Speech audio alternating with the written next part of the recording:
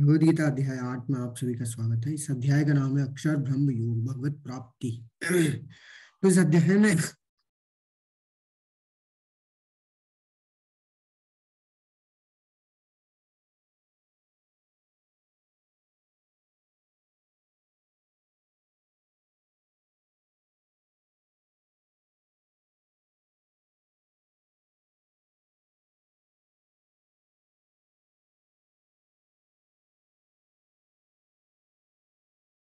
इस अध्याय में हम लोग देखेंगे कि हमारे मृत्यु के समय हमारे भाव कैसे होने चाहिए, हमारे विचार कैसे होने चाहिए, जिससे हमें क्या मिल सके, भगवत प्राप्ति हो सके। तो ये अध्याय हमें हमारे अंत काल के बारे में मृत्यु काल के बारे में बताता है। आइए इस अध्याय की शुरुआत करते हैं। श्री राधा गोविंद की जय। अर्जुन उवाच किमत् तद ब्रह्म? किम तद्ब्रह्म किमध्यात्मं किम कर्मं पुरुषोत्तमम्, आदिभूतं च किम प्रोक्तम अधिदेवम किमुच्यते? अर्जुन ने कहा, हे भगवान, हे पुरुषोत्तम, ब्रह्म क्या है? आत्मा क्या है? सकाम कर्म क्या है? ये भौतिक जगत क्या है? तथा देवता क्या है? कृपा करके यह सब मुझे बताइए। हे मधुसूदन हे मधुसूदन, यज्ञ का स्वामी कौन है? वो शरीर में कैसे रहता है? और मृत्यु के समय भक्ति में लगे रहने वाले आपको कैसे जान पाते हैं? देखिए यहाँ पे अर्जुन जो है वो सबसे पहले ना कुछ प्रश्न पूछते हैं उनके उसके उनके कुछ डाउट हो जाते हैं। तो क्यों आते हैं ये डाउट क्योंकि कल के अध्याय में भगवान जो है वो आ, ऐसे कई श्लोक उन्होंने भगवान ने ऐसे बोले थे कई ऐसी चीज़ें बताई थी जिसमें क्या हुआ अर्जुन को ये डाउट आ गए कि कौन कौन से डाउट है? ब्रह्म क्या है? आत्मा क्या है? सकाम कर्म क्या है? ठीक है ये डिटेल में अर्जुन जानना चाहते हैं कि वास्तव में ये है क्या। देवता क्या है? ठीक है, भगवान से बोल रहे हैं, अर्जुन की कृपा करके मुझे ये सब बताइए, यज्ञ का स्वामी कौन होता है? शरीर में कैसे रहता है? ठीक है, मृत्यु के समय भक्ति में लगे रहने से, और उन्हीं में एक प्रश्न ये भी है कि मृत्यु के समय भक्ति में लगे रहने वाले आपको कैसे जान पाते हैं? तो आइए देखते हैं हम लोग, भगवान इसका उत्तर क्या देते हैं? श्री भगवान उवाच अक्षरम ब्रह्म पर अक्षरम ब्रह्म परम स्वभाव अध्यात्म उच्चते भूत भावो भत भावोद भव करो विसर्ग कर्म संगीत भगवान ने कहा विनाशी और दिव्य जीव ब्रह्म कहलाता है और इसका नित्य स्वभाव अध्यात्म या आत्म कहलाता है। जीवों के भौतिक शरीर से संबंधित गतिविधि कर्म या सकाम कर्म कहलाती है। देखिए अक्षर यहाँ पे बोला गया है। अक्षर मतलब क्या होता है? अक्षर मतलब कि जिसको कभी भी नष्ट नहीं किया जा सकता। अक्षर यानी कि जो समाप्त हो जाता है, अक्षर यानी कि जो कभी भी समाप्त तो देखिए, इसमें हम लोग पहले भी चर्चा कुछ कर चुके हैं। दूसरे अध्याय में भगवान ने बताया था आत्मा के बारे में। आप लोगों ने पढ़ा होगा, माता जी ने आपको पढ़ाया होगा कि जो आत्मा है, वो क्या है? अक्षर है। वो कभी भी नष्ट नहीं होती, वो कभी भी समाप्त नहीं होती। वो क्या करती है? एक शरीर से दूसरे शरीर को ट्रांसफ़र होती है कैसे? जब हम देखते हैं कि देहिनो स्मृन यथा देह कोमारम योगनम जरा। भगवान ने बोला था कि जैसे क्या होता है, जैसे व्यक्ति का जो है शरीर बदलता जाता है, आत्मा वहीं की वहीं रहती है। तो बचपन, फिर तरुण अवस्था कुमार अवस्था उसके बाद फिर वृद्धावस्था, उसके बाद जब मृत्यु हो जाती है तो वो शरीर छोड़ के दूसरे नए शरीर को धारण कर लेती है। वासाम से जीर्णानी यथा भी है जिस प्रकार हम लोग अपने कपड़े बदलते हैं, उस प्रकार आत्मा भी क्या करती है?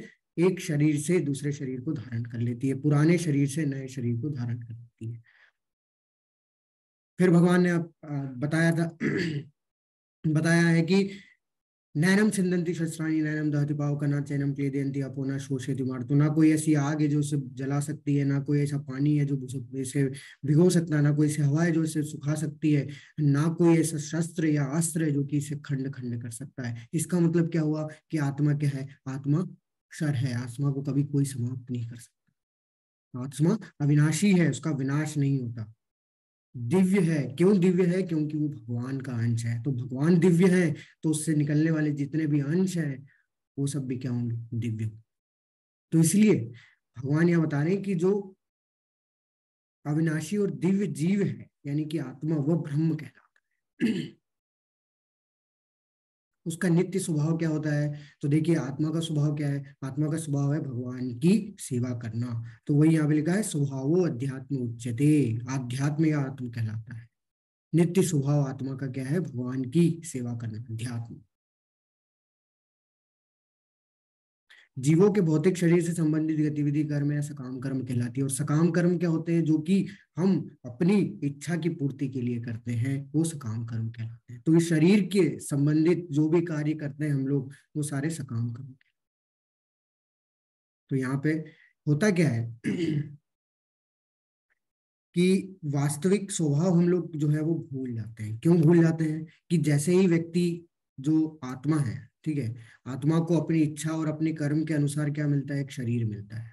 ठीक है? उस शरीर जैसे ही जब वो प्राप्त करता है तो वो किसमें बन जाता है? प्रकृति के तीनों गुणों में बन जाता है। और फिर क्या हो जाता है कि प्रकृति के गुणों में बनने के बाद वो बाध्य हो जाता है, जिस भी गुण में वो होता है, उस गुण में कार्य करने के लिए। और वो क्या हो जाता है? ऐसा क्यों होता है? क्योंकि वो अपने वास्तविक स्वभाव को, वो अपने वास्तविक कार्य को भूल जाता है। वो ये भूल जाता है कि वो शरीर नहीं है, वो आत्मा है, वो भगवान का अंश है। और क्या करने लगता है? इन पाप कर्मों में लीन हो जाता है। तो यहाँ पे भगवान जो है उत्तर दे रहे हैं कैसे ब्रह्म क्या आत्मा, यानी कि जो जीव अविनाशी, जीवित इकाई होती है, अध्यात्म क्या है, उस आत्मा का स्वभाव। कार्य क्या होता है, सकाम कर्म जो कि इस शरीर के लिए किए जाते हैं। अधिभूत किसको बोला गया है, इस पूरी भौतिक प्रकृति को जिसमें कि हम लोग रह रहे हैं। अधिदेव, जिसमें कि देवता लोग रहते हैं। विराट प्रकृति जिसमें सभी देव, देवी देवता शामिल होते हैं, उसे अधिदेव बोला जाता है। अधियज्ञ क्या होता है, अधियज्ञ जो है वो भगवान है, जो कि इन दोनों के कंट्रोलर है। परमात्मा कहाँ रहते हैं? तो परमात्मा हमारे हृदय में निवास करते हैं। पंद्रहवें अध्याय में भगवान इसकी पुष्टि करेंगे। सर्वस्व चाहम हृदय सन्निविष्टो भगवान बताएँगे सारे लोगों के हृदय में मैं परमात्मा के रूप में निवास कर। मृत्यु के समय भगवान को कैसे याद किया जाता है? तो इसी का पूरे अब आगे आने वाले श्लोकों में भगवान उत्तर देंगे। अंतकाले च मामेव स्मरण मुक्त कलेवरम यह प्रयाति समद्भाव नाती न अस्ति अत्र संशय। और जीवन के अंत में जो केवल मेरा स्मरण करते हुए शरीर का त्याग करता है, वो तुरंत मेरे स्वभाव को प्राप्त करता है, इसमें रंच मात्र भी संदेह नहीं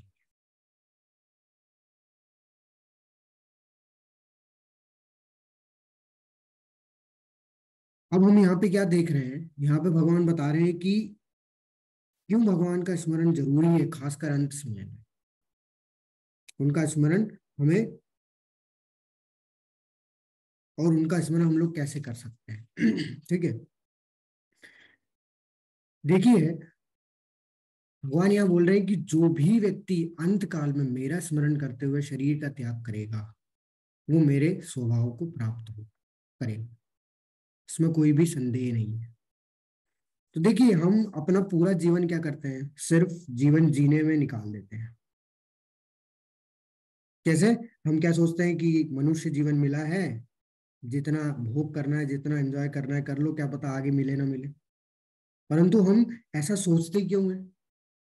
वो इसलिए क्योंकि हमें पता है एक दिन ये शरीर नष्ट हो जाना है, हमारी एक दिन मृत्यु निश्चित है, ये हम जानते हैं। और हम ये भी जानते हैं कि इसके बाद हमारा पुनर्जन्म भी होगा। लेकिन हम ये नहीं जानते कि हम लोग ये जो आने वाले जन्म है इनको रोक भी सकते हैं। ये हम नहीं जानते। हम ये नहीं जानते कि जहाँ हम रह रहे हैं, इससे एक और इसके अलावा एक और आध्यात्मिक जगत भी है जहाँ पे एक बार जाने के बाद कभी भी लौट के नहीं।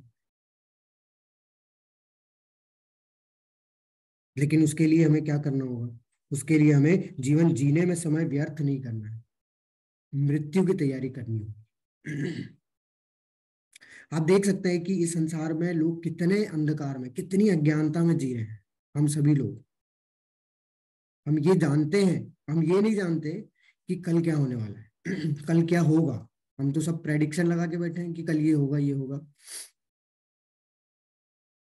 फिर ये, फिर भी हम लोग क्या है, कल की तैयारी में कर लगे रहते हैं। लेकिन हम ये जानते हैं कि एक दिन हमारी मृत्यु निश्चित है, लेकिन उसके लिए हम लोग कुछ नहीं करते।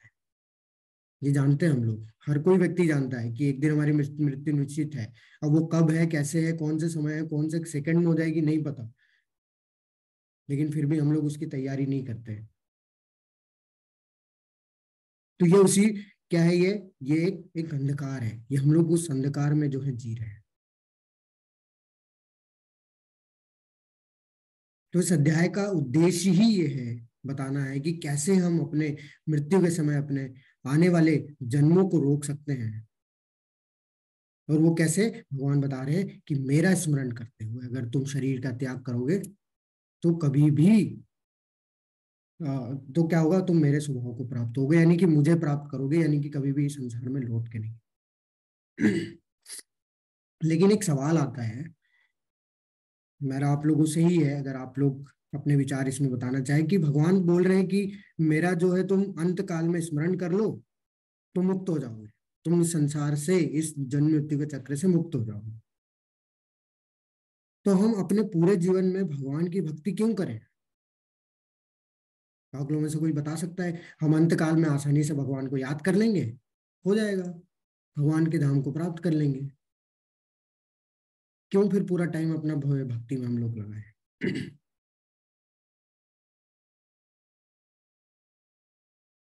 जी हरे कृष्णा रियल रियलमी आ रहे हैं साहब हाँ जी जी हरे कृष्ण प्रभु जी। जी माता जी बताएँगे आप। जी अंत समय में प्रभु को याद कर पाना उतना आसान नहीं है। यदि हम जीवन भर अभ्यास करें उनका स्मरण करने का हर समय तभी ऐसा संभव है कि उस समय भी हमको याद रहे और हम उनका स्मरण कर पाए। अगर हम ऐसा सोचे कि सारे जीवन भर हम उनको आ, कभी भी स्मरण ना करें उनके धर्म के पद पर ना चलें और अंत समय सिर्फ़ हमें हमारे मुख से उनका नाम निकले ऐसा बहुत मुश्किल है। ओके बिल्कुल ऐसा मुझे लगता है। जी जी नहीं नहीं नहीं माता जी बहुत बिल्कुल करेक्ट बताया आपने। हरे कृष्ण। हरे कृष्ण शीतल माता जी आप बताएँगे? हरे कृष्ण प्रभु वो हमारा स्वार्थ हो जाएगा कि है ना हमने बाकी ज़िंदगी तो हमारे हिसाब से जी और अंत समय में हम भगवान का नाम जप रहे हैं उनके करीब जाने की कोशिश कर रहे हैं। ये सोच के कि हमें ना भगवत धाम प्राप्त होगा तो वहाँ कहीं ना कहीं हमारा वो स्वार्थ हो जाएगा। ओके। ओके माता जी बहुत बहुत धन्यवाद। हरे कृष्णा ममता माता जी आप बताएँगे? हरे कृष्ण प्रभु जी। जी माता जी। हाँ जैसे कि बता रहे कि गीता में कि जब तक हम अपना तन नहीं लगाएँगे अपना मन नहीं लग सकता है। हमारी ज़िंदगी के बाकी समय तो हमने तन किसी इस संसार में लगा दिया किसी और वस्तु में जो कि नश्वर उसमें लगा दिया। और अंत समय में जब हम प्रभु प्राप्ति के लिए हमारे मन को लगाते हैं ना तो हमारा तन और मन दोनों वहाँ से विक्षिप्त रहता है। तो गीता में बता रहे हैं कि हमको शुरू से अपने मन और तन दोनों को लगाएँगे तभी हम अंत काल में अपने मन को प्रभु के चरणों में शरण में दे सकते हैं। ओके हरे कृष्ण प्रभु। बहुत अच्छे से आपने बताया हरे कृष्ण। बिल्कुल आप आप सभी लोगों ने एकदम करेक्ट बोला कि हम आसानी से याद नहीं कर पाएँगे। तो देखिए क्या है ये जो ये जो प्रोसेस है ये जो मृत्यु ये, ये जो मृत्यु है ना एक एग्ज़ाम की तरह है। जो मौत है हमारी जो आने वाली है वो एक एग्ज़ाम की तरह है। कैसे? जैसे एक हमने देखा होगा ना कि स्कूल में जब हम लोग जाते हैं तो क्या होता है कि एक क्लास जब हम लोग जैसे फ़र्स्ट क्लास में गए तो फ़र्स्ट क्लास की एग्ज़ाम कब होती है? एक साल के बाद होती है। अब एक साल तक अगर हम लोग उसको रिवाइज नहीं करेंगे, जो भी हम लोग पढ़ रहे हैं, और अगर हम लोग एकदम से एग्ज़ाम देने बैठ जाएँगे तो क्या हम पास हो पाएँगे? नहीं हो पाएँगे, क्योंकि हमें कुछ याद ही नहीं आएगा कि क्या पढ़ा था मैंने एक साल पहले। वही चीज़ एग्ज़ाम में आ रही है। तो वैसे ही मृत्यु क्या है? एक तैयारी एग्ज़ाम एग्ज़ाम की तैयारी जैसा है। अगर हमने स्टार्टिंग से ही अगर भगवान का स्मरण नहीं करते हैं, भगवान का नाम नहीं लेते हैं, भगवान के लिए कार्य नहीं करते हैं तो अंत में हमारा कुछ नहीं हो पाएगा। हम याद ही नहीं आ पाएँगे हम क्यों? क्योंकि क्या होता है कि जो अंत समय होता है ना, वो इतना कोई आसान नहीं होता जो टीवी में दिखा देते हैं कि बस मुँह खोला और मर गए। ऐसा नहीं होता है। अगर आप गरुड़ पुराण पढ़ेंगे तो उसमें लिखा गया है कि जब व्यक्ति के प्राण खींचे जाते हैं ना, जब निकलते हैं शरीर से तो उसे बहुत कष्ट होता है। उसमें लिखा हुआ है कि, कितना कष्ट होता है? जैसे अगर एक बिच्छू अगर आपको डंक मार रहा है तो उसके काटने से आपको पता है कितना कष्ट होगा, व्यक्ति बेहोश हो जाता है। लेकिन उसमें लिखा हुआ है कि लाखों करोड़ों बिच्छू जब एक साथ डंक मारते हैं, उसकी, उसके बराबर जो दर्द होता है, वो होता है कब? जब प्राण निकाले जाते हैं शरीर से। अब आप सोचिए, इतने कष्ट में व्यक्ति अपने बारे में नहीं सोच पाएगा तो भगवान के बारे में तो बहुत दूर की बात है। तो इसलिए भगवान यहाँ बोल रहे हैं कि स्मरण करना है मेरा। वो स्मरण कब होगा? जब हम लोग अभ्यास करेंगे। वो बिना अभ्यास के संभव ही नहीं है कि हम लोग भगवान को याद कर पाए। क्योंकि वो इतना कष्ट का समय होगा कि उसमें हम लोग कुछ भी नहीं कर पाएँगे। और हमें लग रहा है आसान कि अंत समय आएगा तो हम आसानी से याद कर लेंगे। उस समय पॉसिबल ही नहीं कि हम लोग किसी को याद कर पाए। अभी मैं आपको एक उदाहरण आगे दूँगा कि कैसे पॉसिबल नहीं है कि हम लोग भगवान को याद क्यों नहीं कर पा रहे तो आइए हम लोग आगे चलते हैं। तो ऐसे ही महाभारत में एक एक वाक्य आता है। इसमें क्या होता है कि जो अर्जुन जो अर्जुन बोल रहा हूँ, पांडवों के जो है चारों भाई की मृत्यु हो जाती है। यक्ष यक्ष का जो पानी होता है वो जहाँ पे यक्ष होता है उस पीने से। युधिष्ठिर महाराज जाते हैं, यक्ष उनसे प्रश्न पूछता है। यक्ष बोलता है कि इस संसार में सबसे आश्चर्यजनक चीज़ क्या है? तो युधिष्ठिर महाराज देखिए कितना स्पष्ट उत्तर देते हैं कि सैकड़ों हज़ारों जीव हर पर मृत्यु के निकट जा रहे हैं, लेकिन फिर भी एक मूर्खतापूर्ण जीवन जीने वाला दुख को मृत्युहीन समझता है, खुद को मृत्युहीन समझता है और मृत्यु के लिए तैयार नहीं होता। यह इस दुनिया की सबसे आश्चर्यजनक चीज़ है कि हमें पता है कि हमारी मृत्यु होनी है कब होनी है, ये नहीं पता, लेकिन हमें ये तो पता है कि होनी है। क्या पता हमारी एक सेकंड में मृत्यु हो जाए अभी, आने वाले। लेकिन फिर भी हम क्या है, अपने आप को मृत्युहीन समझ के कार्य करते हैं। हमें लगता है कि बुढ़ापे में मृत्यु होती है, हमें लगता है कि बुढ़ापे में बीमारी होगी, तब मृत्यु होगी हमारी लेकिन ऐसा नहीं है। हमारी कभी भी किसी भी क्षण मृत्यु हो सकती है, ये हम नहीं जानते, ये भगवान जानते इसलिए भगवान हमें ये बोल रहे हैं कि मेरा स्मरण करते रहो कि जब भी तुम्हारी मृत्यु आएगी तो मेरा स्मरण तो रहेगा और जब मेरा स्मरण रहेगा तो तुम मेरे स्वभाव को प्राप्त कर पाओगे। तो इसलिए ये युधिष्ठिर महाराज बोलते हैं कि आज लोग अपने आप को मृत्युहीन समझ के मृत्यु की तैयारी नहीं करते और जीवन जीने में अपना समय जो है पूरा व्यर्थ कर देते हैं। और यही सबसे आश्चर्यजनक चीज़ है इस पूरे दुनिया की। तो यहाँ पे एक कहानी आती है भरत महाराज की। आप वो भरत महाराज क्या थे? एक भगवान के बहुत अच्छे भक्त थे। तो क्या हुआ कि एक एक समय उनके दिमाग में ये आया कि राज्यवाद संभालते समय उन्हें ये एहसास हुआ कि वो भगवान की भक्ति में अपना समय नहीं दे पा रहे हैं। तो उन्होंने ये निर्णय लिया कि मैं सब कुछ जो है त्याग के, अपने घर वालों को दे के एकांत में जाके जो है भगवान की भक्ति करूँ।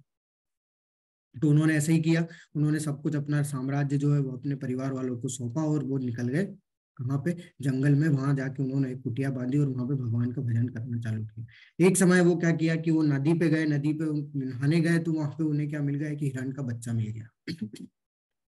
वो हिरण का बच्चा इतना ज़्यादा आकर्षक था कि वो क्या किया, उससे इतना ज़्यादा आसक्त हो गई कि उसको उठा के कहा ले आए, अपने कुटिया में ले आए। और दिन रात क्या करने लगे, उसकी सेवा करने लगे।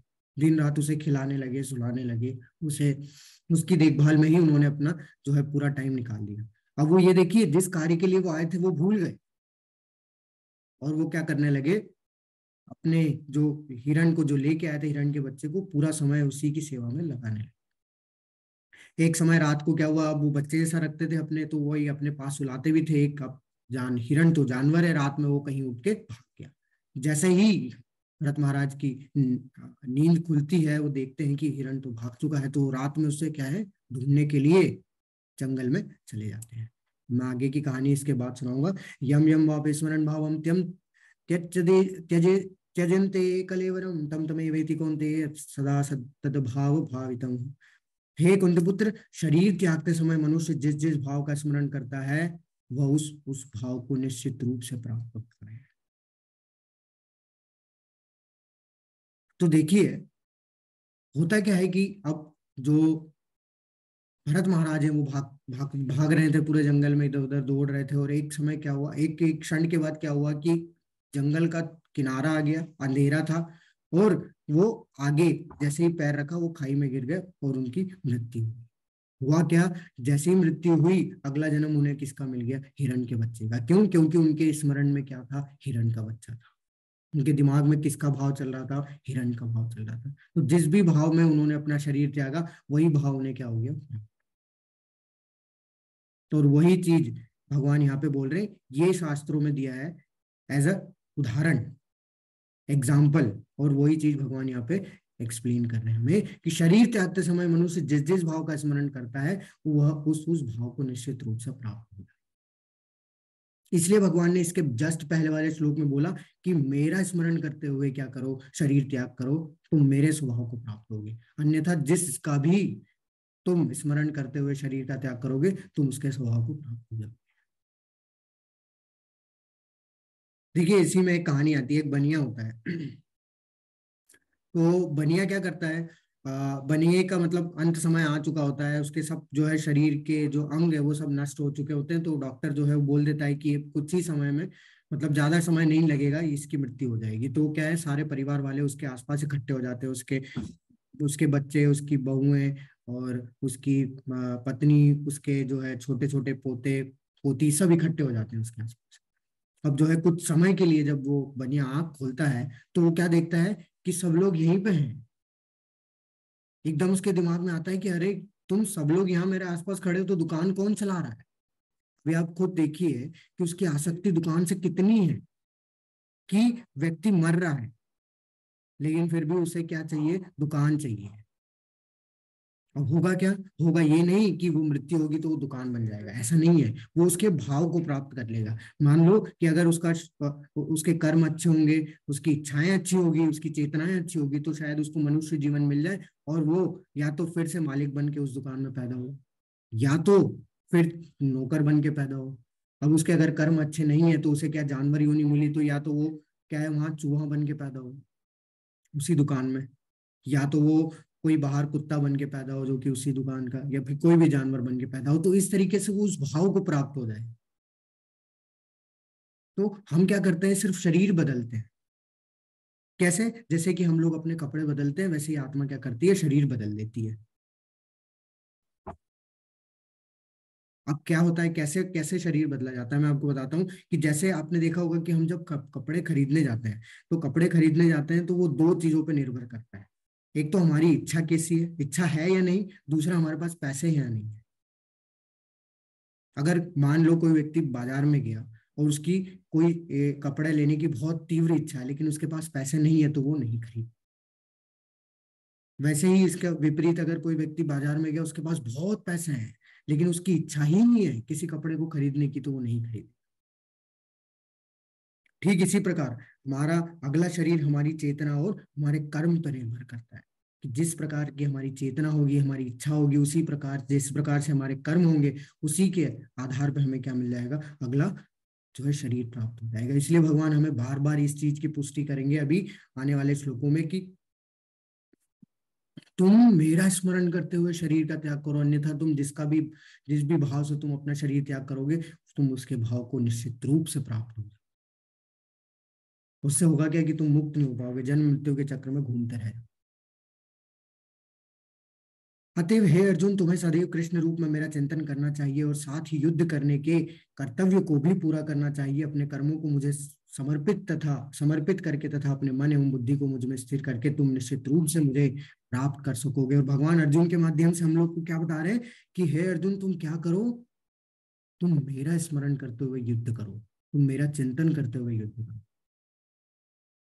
तुम अब मेरा चिंतन करते हुए अपने धर्म का पालन करो। तुम अपने लिए मत करो ये कार्य, सब कुछ मेरे लिए करो। इससे होगा क्या कि तुम अपनी मन और बुद्धि को मुझमें स्थिर कर पाओगे और जब तुम मन और बुद्धि को भी स्थिर करके जब कार्य करोगे, अपने धर्म का पालन करोगे तो अगर तुम्हारी मृत्यु भी होती है तो तुम मुझे प्राप्त करोगे। तो इसलिए भगवान अर्जुन को ये नसीहत दे रहे हैं, अर्जुन को ये सलाह दे रहे हैं कि तुम क्या करो तुम जो भी कार्य कर रहे हो, उसमें मेरा चिंतन करते हुए कार्य करो, मेरा स्मरण करते हुए कार्य करो। और अपने मन और बुद्धि को मुझमें स्थिर करके हुए कार्य करो। इसलिए भगवान बार बार ये चीज़ रिपीट कर रहे हैं कि मेरे लिए कर्म करो, मेरे लिए कर्म करो, मेरे लिए कर्म करो। उससे उसका कारण ही यही है कि हम लोग क्या कर पाएँगे? अंत समय में भगवान का स्मरण कर पाएँगे। अन्यथा हमारे लिए बहुत ज़्यादा कठिन होगा कि हम भगवान का स्मरण कर पाए और अपने शरीर को त्याग कर पाए। अभ्यास योग युक्त चेतसा निगामिना परमम पुरुषम दिव्यम याति पार्थानुचिंतन चिंतन हे पार्थ, जो व्यक्ति मेरा स्मरण करने में अपना मन निरंतर लगाए रखकर अविचलित भाव से भगवान के रूप में मेरा ध्यान करता है, वो मुझको अवश्य ही प्राप्त होता है। और भगवान इस चीज़ को फिर रिपीट कर रहे हैं। देखिए, भगवान दो, जो बहुत ही ज़्यादा महत्वपूर्ण चीज़ है ना, उसको अलग अलग तरीके से जो है बता रहे हैं बस भगवान। वो रिपीट कर रहे हैं फिर से कि जो व्यक्ति मेरा स्मरण करने में अपने मन को लगा देता है। बिना विचलित हुए, वो कभी भी जो है इस संसार में लौट के नहीं आता, वो अवश्य मुझे प्राप्त करता है। क्यों? क्योंकि इससे होगा कि अंत जब समय आएगा तो उसका स्मरण, उसको आसानी से स्मरण कर पाएगा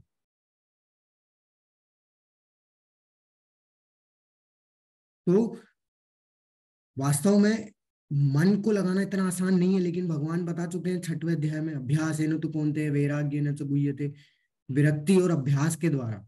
कुछ चीज़ें छोड़नी है, कुछ चीज़ें अपनानी है। अभ्यास मतलब कि उन चीज़ों का अभ्यास करना है। अगर उन चीज़ों का अभ्यास करते रहेंगे तो आसानी से मन को जो है हम क्या कर सकते हैं कंट्रोल कर सकते हैं। और भगवान के श्री चरणों में या फिर भगवान के नाम में हम लोग उसको लगा सकते हैं, स्थिर कर सकते हैं। लेकिन उसके लिए हमें अभ्यास करना होगा। कोई व्यक्ति अगर बोलता है कि नहीं, मेरे से तो नहीं हो रहा है तो फिर इसका मतलब क्या है कि वो करना नहीं चाह रहा है। क्योंकि कोई भी चीज़ पॉसिबल है किससे? अभ्यास से। हम्म, यहाँ तक कि मन भी कंट्रोल किया जा सकता है लेकिन उसके लिए अभ्यास करना होगा। जब तक हम लोग अभ्यास नहीं करेंगे तब तक बहुत मुश्किल होगा हमारे लिए कि हम लोग मन को भगवान में निरंतर लगा पाए। और अभ्यास कैसे करना है? ऐसा नहीं कि 24 घंटे हमें क्या है जब करते रहना है। हम लोग कर ही नहीं पाएँगे। हमें अभ्यास करना है कि हमारी जो पर्सनल जो काम है हमारी हमारे जो कार्य हैं, उनके माध्यम से हमें क्या करना है? भगवान से अपने आप को जोड़ने का प्रयास करना है, जिससे कि हम क्या करें? चौबीस घंटे भगवान के स्मरण में लगे रहें। इसलिए भगवान हमेशा बोल रहे हैं कि मेरे लिए कर्म कर्म करना है तुम्हें, लेकिन किसके लिए कर्म करना है? मेरे लिए। तो जो भी कार्य हम लोग कर रहे हैं, उसको किससे कनेक्ट करना है? भगवान से कनेक्ट करना है। अगर हमने कनेक्ट करके कार्य कर दिया तो उसका मतलब क्या हो गया कि हम लोग वास्तव में क्या कर रहे हैं? भगवान का स्मरण कर रहे हैं चौबीस घंटे। यहाँ पे अजामिल की कहानी आती है। देखिए, अजामिल की कहानी क्या है?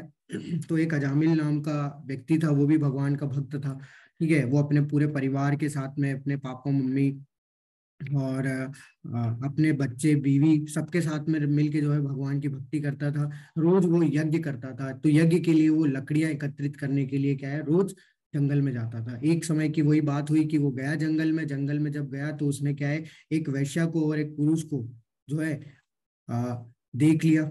और इससे क्या हो गया कि उसके अंदर काम अग्नि जो है वो क्या गई? जागृत हो गई। अब देखिए, बात यहाँ ये है, बात ये नहीं है कि उसने देखा, है ना? देखिए, आँखें दिए भगवान ने हमें तो दुनिया में बहुत पाप कर्म हो रहे हैं, बहुत सारी बुरी चीज़ें हो रही है, वो दिख जाती है। हमें तो दिखना गलत नहीं है, लेकिन दिखने के बाद क्या हम कर रहे हैं, वो गलत है। तो आपने दूसरे अध्याय में पढ़ाया होगा आपको माता जी ने कि आठ अवस्थाएँ होता है, होती है व्यक्ति के पतन करने, पतन होने की, कि क्यों व्यक्ति के अंदर से काम गलत हो जाते हैं? क्योंकि हर बार हमारे अंदर ये दिमाग में आता ना कि मेरा मन तो नहीं था करने का, लेकिन फिर भी मेरे से ये काम हो गया गलत। क्यों?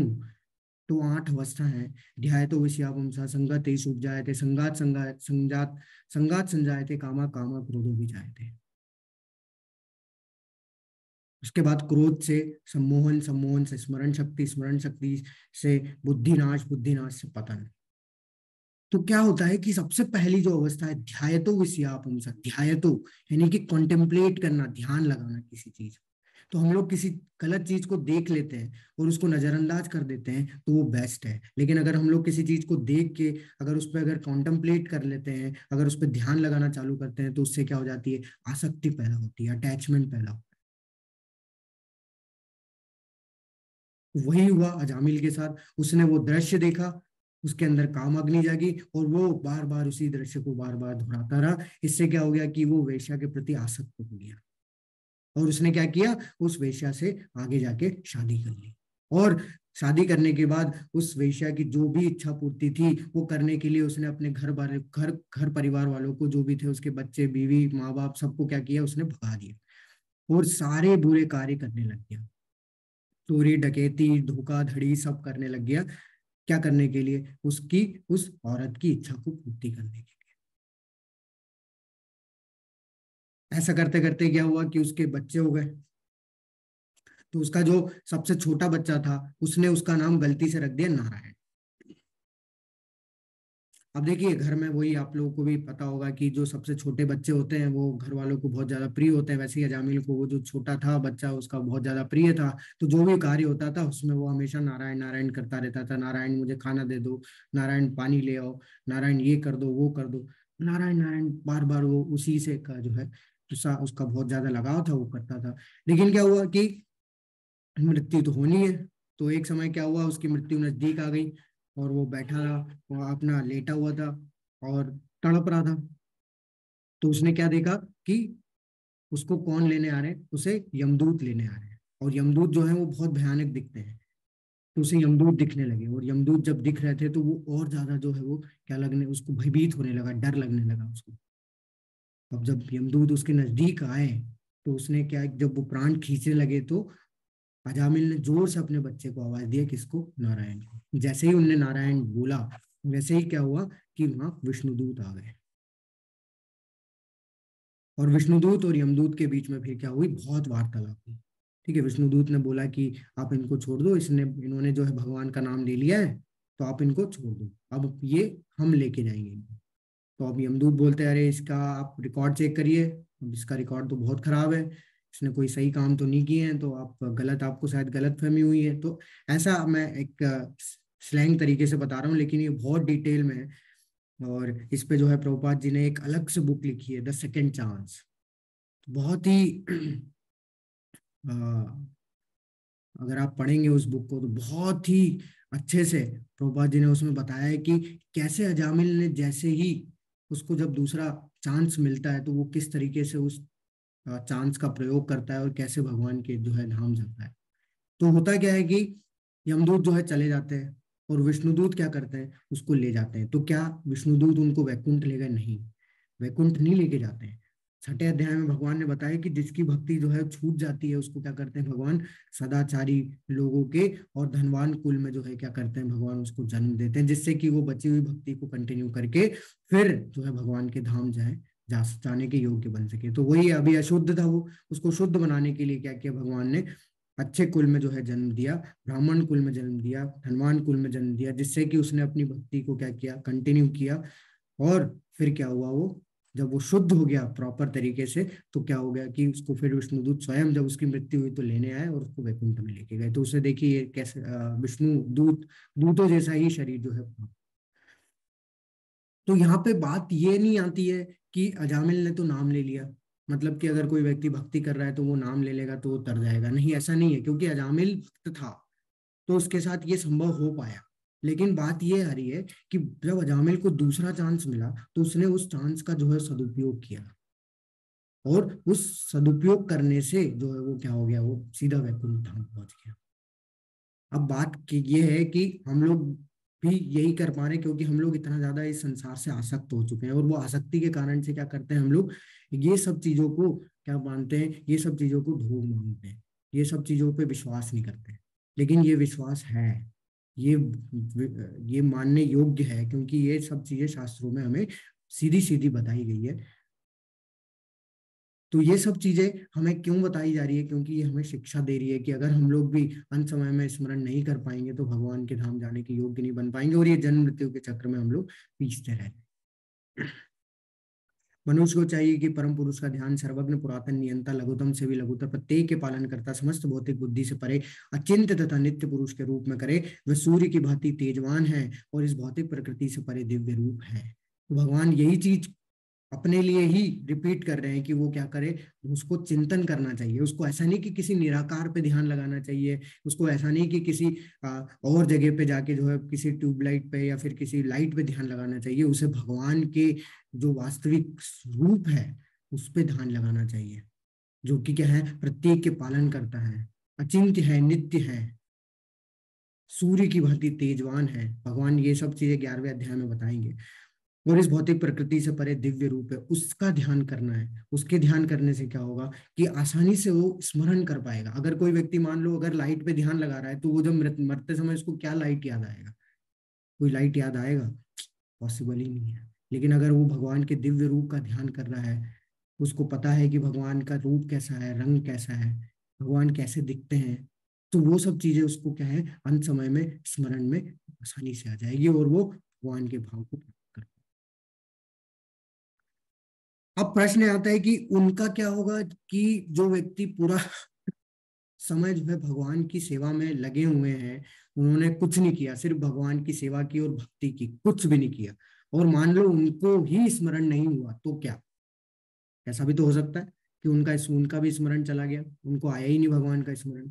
तो उसके लिए भगवान बता रहे हैं कि अनन्य चेता सततम योमाम स्मृति नित्य तस्याहम सुलभ पार्थ नित्य युक्त योगिना जो हमेशा मुझे बिना विचलित हुए याद करता है, उसके लिए भक्ति उसके लिए भक्ति सेवा में निरंतर लगे रहने के कारण हे प्रथा के पुत्र, मुझे प्राप्त करना आसान है। मतलब कि भगवान बोलना चाह रहे हैं कि उसको स्मरण करने की ज़रूरत ही नहीं है, क्योंकि मैं उसे स्मरण शक्ति दूँगा, मैं उसको स्मृति दूँगा कि वो मुझे याद कर पाए।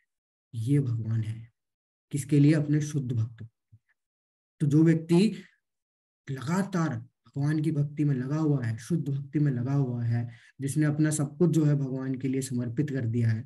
तो उसको याद करने की ज़रूरत नहीं होती। भगवान बोलते हैं कि वो मुझे आसानी से प्राप्त कर लेगा, क्योंकि अगर उसको स्मरण नहीं भी आएगा तो मैं उसको स्मरण दिलाऊँगा। मैं उसे स्मृति दूँगा कि वो मुझे याद कर पाए और मेरे धाम यानी मुझे प्राप्त कर मुझे प्राप्त करके महापुरुष जो भक्ति योगी हैं, कभी भी दुखों से पूर्ण इस अचिंत्य जगत में नहीं लौटते, क्योंकि उन्हें परम सिद्धि प्राप्त हो चुकी होती है। देखिए दुखालय में शाश्वतम मैंने जो आपको बताया था, वही यहाँ पे चीज़ भगवान बता रहे हैं कि क्या होता है कि जो व्यक्ति भक्ति में लग जाता है ना, जिसे भक्ति के बारे में पता चल जाता है, जिसे ये पता चल जाता है कि कैसे हम लोग इस भौतिक संसार से मुक्त हो सकते हैं। देखिए, हमारी समस्या क्या है? हमारी वास्तविक समस्या है जन्म, मृत्यु, जरा, व्याधि। और उस जन्म मृत्यु जरा व्याधि का इलाज किसी के पास नहीं है, कोई डॉक्टर के पास नहीं है, कोई मेडिकल साइंस के पास नहीं है, कोई साइंस के पास नहीं है।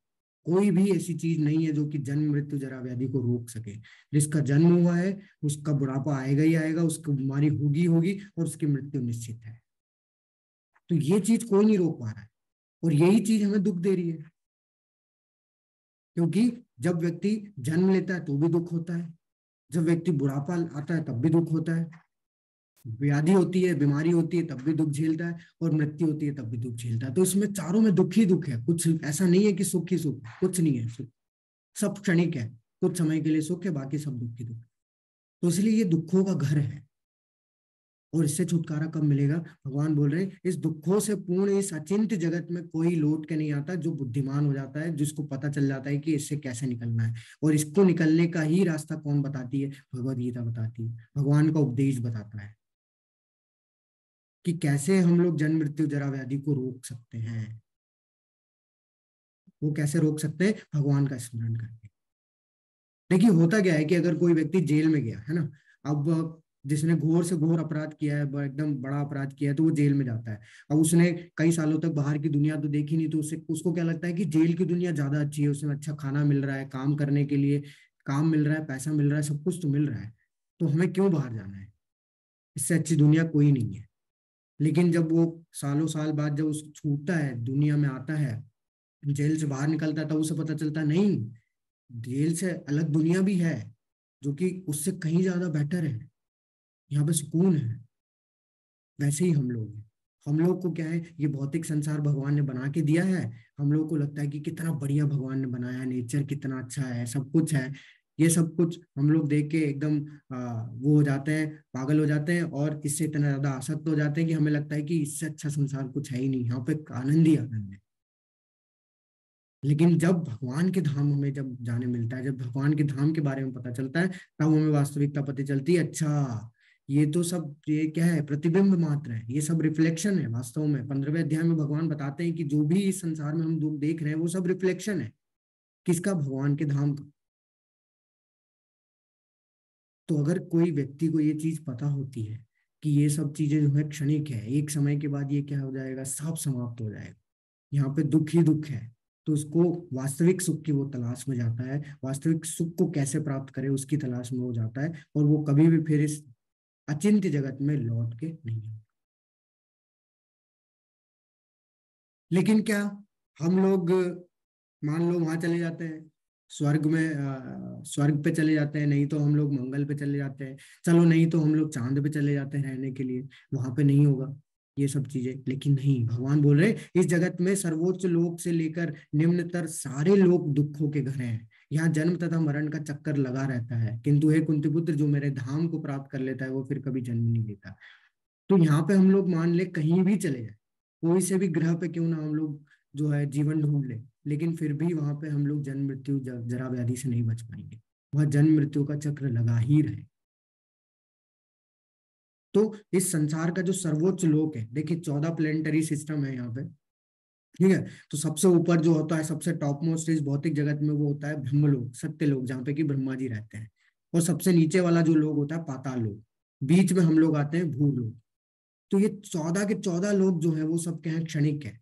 जैसे प्रलय आएगा, सब समाप्त हो जाएगा। उसमें भी सूर्य लोग, चंद्र लोग, स्वर्ग लोग, कुछ भी क्यों? सब में जन्म मृत्यु का चक्र लगा रहेगा। अगर हम अच्छे कार्य करेंगे तो उच्च ग्रह को प्राप्त करेंगे। जैसे ही हमारे कार्यों के फल, अच्छे कार्यों के फल समाप्त हो जाएँगे, वापिस से हमें इस मृत्यु लोक में आ जाना पड़ेगा। बुरे कार्य करेंगे तो नर्क लोग जाएँगे। वही है, जब हमारे फलों के कर्म खत्म हो जाएँगे, तब तो वापिस हमें मृत्यु लोक में आ जाना। तो ये चलता रहेगा। ये कभी समाप्त नहीं होगा। लेकिन भगवान बोल रहे कि इसको समाप्त कर सकते हैं कब? जब तुम मेरे धाम को प्राप्त कर लोगे। जब मुझे प्राप्त कर लोगे तो ये जन्म मृत्यु के चक्र से तुम क्या हो जाओगे? छूट जाओगे। कभी भी संसार में लौट के नहीं आओगे अब भगवान अपने जो है धाम के बारे में बताते हैं कि अव्यक्तो अक्षर इत्युक्त। माहुम परमाम गति यम प्राप्य न निवर्तनते तद्धामम परमम बताते जिसे वेदांती अप्रकट बताते हैं। और अविनाशी बताते हैं, जो परम गंतव्य है, जिसे प्राप्त कर लेने पर कोई वापस नहीं आता, वही मेरा परम धाम है।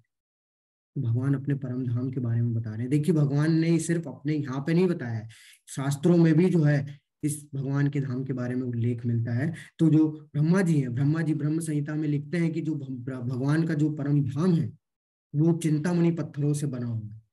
मतलब ऐसा पत्थर जो कि जो भी छूते हैं जिस भी जिस जो भी छुएँगे वो उस जो भी धातु चाहिए उस धातु में जो है उसको कन्वर्ट कर देंगे। ऐसे पत्थर से बनते वहाँ के जो वृक्ष हैं वो कल्प वृक्ष है। कल्प वृक्ष मतलब ऐसे वृक्ष जो कि इच्छा के अपनी इच्छा करने पे जो है वो फल और फूल देते हैं। ऐसा नहीं कि सीजनल होते हैं कि सी, इस सीज़न में ये वाला फल उस सीज़न में वो वाला फूल नहीं। जब जो मांगोगे आप वो वाला फूल और फल आपको प्रदान करते हैं। ऐसे वृक्ष हैं। भगवान के धाम में ऐसी गायें हैं जिनको कि सूरभी गायें बोला जाता है, जो कि अनंत मात्रा में दूध प्रदान करती है। हमारे भौतिक संसार जैसी गाय नहीं, जो कि क्या है, हमें सीमित मात्रा में दूध प्रदान भगवान के धाम में हज़ारों हज़ारों लक्ष्य भगवान की सेवा में जो है, हमेशा लगी रहती है। तो इस तरीके का जो धाम है भगवान का,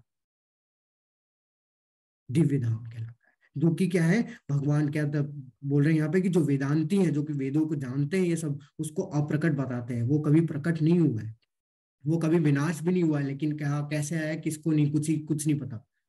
ठीक है? वो परम गंतव्य है। परम गंतव्य यानी कि लास्ट सबका जो डेस्टिनेशन है, वो हम लोग का वही है, भगवान का। जिसे प्राप्त कर लेने पर कोई भी वापस नहीं आता। वही मेरा परम धाम है। यम प्राप्त न निवर्तनते। एक बार जो उसको प्राप्त कर लेगा, न निवर्तनते, वो कभी वापस नहीं आएगा। तद धामम परमम। ऐसा धाम मेरा परम, ऐसा मेरा परम धाम है।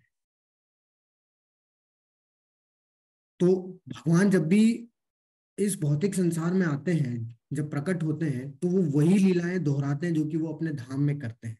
तो यहाँ पे अब देखे होगा आपने कि माखन चुरा रहे हैं भगवान, ठीक है, और क्रीड़ा कर रहे हैं तो ये सब गायें चरा रहे हैं तो ये सब वो धाम में नित्य लीलाएँ उनकी चल रही है, जहाँ पे वो विराजमान है, जहाँ पे वो रहते हैं। तो वही चीज़ वो यहाँ दोहराने आते हैं और ये चीज़ बताने आते हैं कि आप, हम लोग की जो है, उनके प्रति आसक्ति बढ़े और हम लोग वापस से अपने घर जाने के लिए जो है, वो प्रयास कर सके। एक मुकुंद माला स्त्रोत करके है, जिसमें कि राजा जो कुलशेखर है, वो प्रेयर बहुत अच्छी अच्छी प्रेयर लिखे हैं भगवान के लिए। लेकिन उन प्रार्थनाओं में जो सबसे बेस्ट प्रार्थना जो कि इस अध्याय के लिए एकदम सटीक है, वो यहाँ पे बताई गई है कि, हे कृष्ण, कृपया मेरे मन को तुरंत अपने कमल के फूलों के पैरों की ओर जाने दें, जैसे कि राजहंस कमल के फूलों के तने में प्रवेश करता है। राजहंस यानी भौरा। तब मेरी अंतिम सांस के समय मेरा गला, हवा, पित्त और कफ की क्रिया से संकुचित हो जाता है तो मैं आपको कैसे याद रखूँगा? देखिए, लोग क्या बोलते हैं कि भक्ति करना अभी बच्चों के लिए नहीं है। जवानी जवानी में भक्ति नहीं की जाती, ठीक है? यंग, यंगस्टर जो है वो क्या कर सकता है? अपने जो है अपने सपनों को पूरा करना चाहिए। भक्ति भक्ति तो आएगा आगे वो समय आएगा करने उसके करने के लिए। अभी ये सब छोड़ दो कोई माला वाला कोई समय या अभी कोई समय थोड़ी ना है कि आप अभी से भक्ति में लग जाओगे। तो मुझे ये बताइए कि भक्ति करने के लिए कौन सा समय है? बुढ़ापे का समय? जब आदमी का ना शरीर चल रहा है ना मुँह चल रहा है ना कान ना ना, ना मुँह बोल सकता है ना कान सुन सकते हैं ना हाथ पैर चल सकते हैं तब हम लोग भक्ति करें। ऐसे शरीर को भगवान को अर्पित करें, ऐसे शरीर से भगवान की सेवा करें जो कि अपने ही काम नहीं आ रहा है। ऐसा होता है कि, क्या ऐसा होता है कि जब कोई व्यक्ति के घर में कोई व्यक्ति कोई कोई मान लो गेस्ट आया और वो गेस्ट को क्या करता है, कोई व्यक्ति ऐसा ही कोई झूठा बर्तन में पानी पिला देगा? कोई टूटे हुए बर्तन में पानी पिला देगा? नहीं, हम उसका सत्कार तो बड़े अच्छे से करते हैं, बड़े आदर से करते हैं कि नहीं अच्छा गिलास दें, साफ़ गिलास दें, ठीक है, टूटा हुआ नहीं होना चाहिए। तो फिर भगवान को क्यों हम लोग अपना ये जर्जर शरीर देने में लगे रहते हैं? कि वो शरीर जिससे कि ना हम लोग बोल पाएँगे, जिससे कि ना हम लोग सुन पाएँगे, जिससे कि ना हम लोग सेवा कर पाएँगे। वो शरीर भगवान के लिए हम लोग क्या करते हैं? बचाए रखते हैं कि इस शरीर से हम लोग भगवान की सेवा करेंगे और भक्ति करेंगे। देखिए यही चीज़ कुलशेखर बोल रहे हैं कि क्या पता मैं उस समय पे बोल ही ना पाऊँ। मेरा गला ऐसा रूप ऐसा उसमें इतना कफ हो जाए कि मैं ना तो बोल पाऊँ, ना मैं हवा हवा पित्त और कफ की वजह से पूरा एकदम संकुचित हो जाए कि मैं, मेरे मेरे मुँह से आवाज़ ही ना निकले। मेरे हाथ पैर ऐसे हो जाए कि उठा ही नहीं पाऊँ ना मैं जब कर पाऊँ, ना कुछ तरीके से मैं बाप का नाम ले पाऊँ, ना सुन पाऊँ। तो कैसे स्मरण कर पाऊँगा मैं? प्रहलाद महाराज जो है श्रीमद भागवतम में बताते हैं कि पाँच साल की उम्र से ही हमें क्या कर देना चाहिए? भक्ति में लग जाना चाहिए। भक्ति मार्ग में अपने आप को लगा देना चाहिए। और अभी भी हम लोग बहुत सौभाग्यशाली हैं कि हम लोग सब लोग बैठ के क्या कर रहे हैं इस भगवत गीता को समझ रहे हैं और भगवान के इस दिव्य ज्ञान को अपने जीवन में आत्मसात करने का प्रयास कर रहे हैं। लेकिन अगर कोई अभी भी ये व्यक्ति मानता है कि नहीं, अगर मैं करूँगा तो मैं अभी नहीं करने वाला, अभी तो बहुत टाइम है, ये सब बुढ़ापे का काम है। तो मृत्यु ये नहीं देखती कि बुढ़ापा आएगा। देखिए, आप कोरोना में देख सकते हैं। मृत्यु अगर ये देखती होती तो सारे बूढ़े लोग जो है मर गए होते। हैं लेकिन उसमें तो जवान भी मरे हैं उसमें तो बच्चे भी मरे। हैं तो मृत्यु नहीं देखती कि कब किसका कैसा आयु है, वो बूढ़ा है या बच्चा है या कैसा है, कभी भी आ जाती है। वो कब आती है वो हमें नहीं पता। इसलिए हम लोग तैयारी करना चाहिए मृत्यु की। वो ये है। मृत्यु की तैयारी की हम लोग अभी से जो है क्या कर सके, भगवान के नाम में अपने आप को, भगवान के काम में अपने आप को लगा सके, जिससे कि जब भी मृत्यु आए, उस समय पे हमें कष्ट ना हो। मृत्यु जब हम प्राण छोड़े तो उसमें हमें कष्ट ना हो। हम लोग आसानी से प्राण छोड़ के भगवान के धाम जाने की योजना वेदेषु यज्ञेषु तपसु चैव दानेषु तत्पुण्यफलं प्रतिष्ठम्। अत्येति तत्सर्वविदं विदित्वा योगी परम स्थानमुपेति चाद्यम।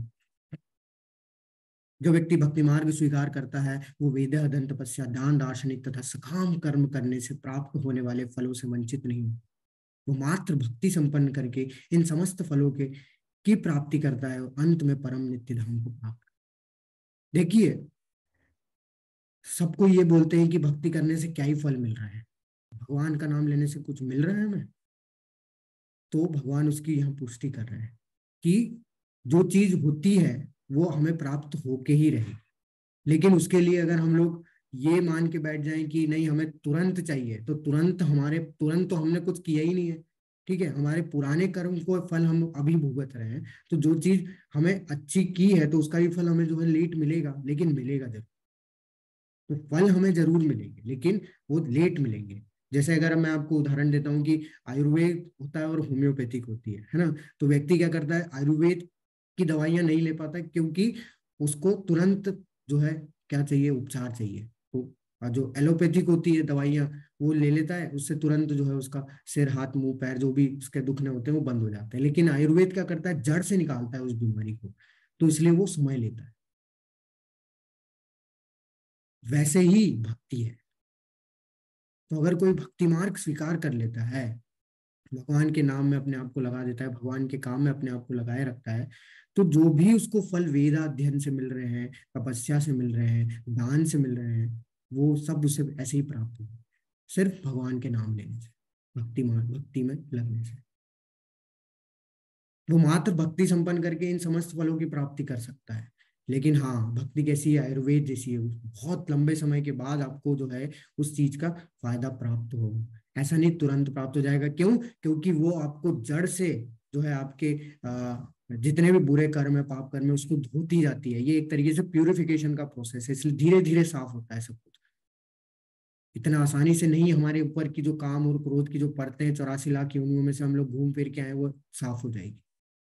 धीरे धीरे धीरे धीरे धीरे धीरे साफ़ होती जाती है और अंत में क्या होता है कि हम लोग भगवान के नित्य धाम को प्राप्त करने के योग्य बन जाते यानी कि जन्म मृत्यु को से छुटकारा पाने के योग्य बन पाते हैं। तो उसमें एक उदाहरण आता है कि कपिल मुनि जो कि भगवान के ही एक अवतार थे उनकी माता जी थी। उनको कुछ भी क्या है आ, सीखने का मतलब पढ़ने का कुछ भी एकदम इच्छा नहीं होती थी। वो उनको पढ़ने में बिल्कुल रुचि नहीं थी ना वो भगवान की लीलाओं को पढ़ती थी ना भगवान की वाणी को पढ़ती थी कुछ नहीं पढ़ती थी। उनको कोई रुचि नहीं आती तो कपिल मुनि बहुत परेशान होते थे तो उन्होंने क्या किया एक समय पर यह निर्णय लिया कि अब मैं क्या करूँगा अपनी माता को सुनाऊँगा। भगवान की लीलाओं के बारे में, भगवान की वाणियों के बारे में जो है मैं सुनाऊँगा। तो उन्होंने सुनाना स्टार्ट किया और सुनने मात्र से वो क्या बन गई? सिर्फ़ और सिर्फ़ भगवान की जो है भक्त बन गई। और भगवान की भक्त बन गई साथ साथ भगवान के भगवान के धाम को प्राप्त तो हम भी अगर भक्ति मार्ग स्वीकार करते हैं, अगर हम लोग नहीं कर पा रहे हैं कुछ भी तो अगर हम लोग सिर्फ़ श्रवण करें, श्रवण करने मात्र से हम लोग क्या कर सकते हैं? भगवान के प्रति अपनी श्रद्धा जो है बढ़ा सकते हैं। भगवान के प्रति अपना फेथ जो है वो डेवलप कर सकते हैं। क्योंकि भक्ति की नौ अलग अलग प्रोसेस है, जिसमें से सबसे सरल प्रोसेस है श्रवण करना सुनना। तो सुनने से हम लोग बहुत सारी चीज़ों को क्या कर सकते हैं? अपने अंदर आत्मसात कर सकते हैं।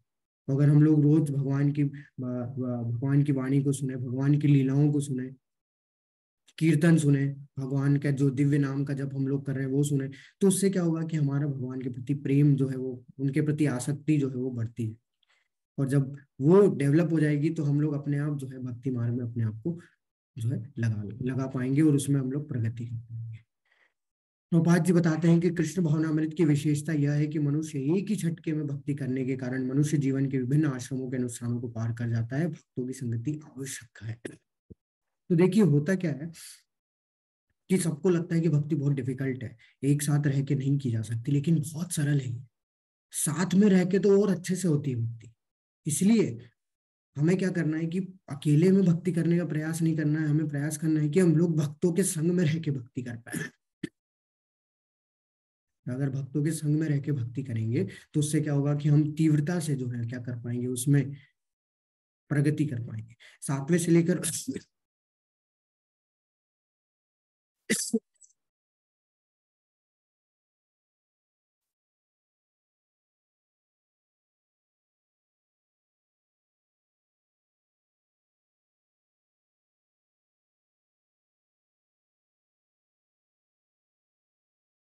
अट्ठवे से लेकर बारहवें तक के अध्याय भगवत गीता के सार रूप है।